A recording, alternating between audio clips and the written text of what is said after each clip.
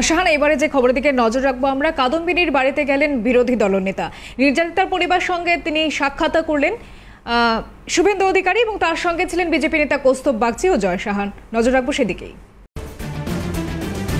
যে খবরের দিকে আমরা নজর রাখছি, কাদম্বিনীর বাড়িতে গেলেন বিরোধী দলনেতা শুভেন্দু অধিকারী। নির্যাতিতার পরিবার সঙ্গে তিনি সাক্ষাৎ করলেন এবং সঙ্গে ছিলেন বিজেপি নেতা কৌস্তব বাগচি সহ জয় সাহা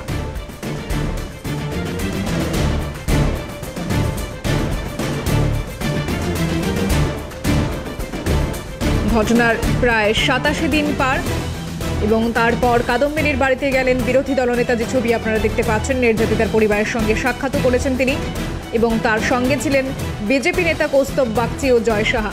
তিনি কি বলেছেন শোনাবো আপনাদের? আমাকে আমার নেতা অমিত শাহজি যা বলেছেন সেটা ওনাদেরকে আমি বলেছি। আমি সেটা আপনাদের বলব কি ওনারা প্রধানমন্ত্রীকে রাষ্ট্রপতিকে স্বরাষ্ট্রমন্ত্রীকে স্বাস্থ্যমন্ত্রীকে সবাইকে আপিল করেছেন।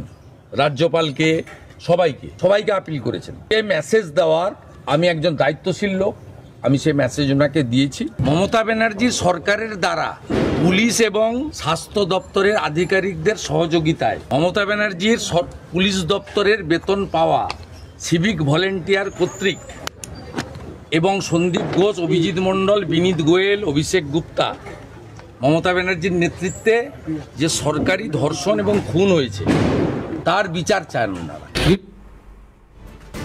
শোনালাম আপনাদের তিনি কি বলেছেন। কাদম্বিনীর বাড়িতে গিয়ে তিনি এমনটাই বললেন, নির্যাতিতের পরিবারের সঙ্গে তার সাক্ষাৎও হয়েছে এবং সঙ্গে ছিলেন বিজেপি নেতা কৌস্তব বাগচি ও জয় সাহা।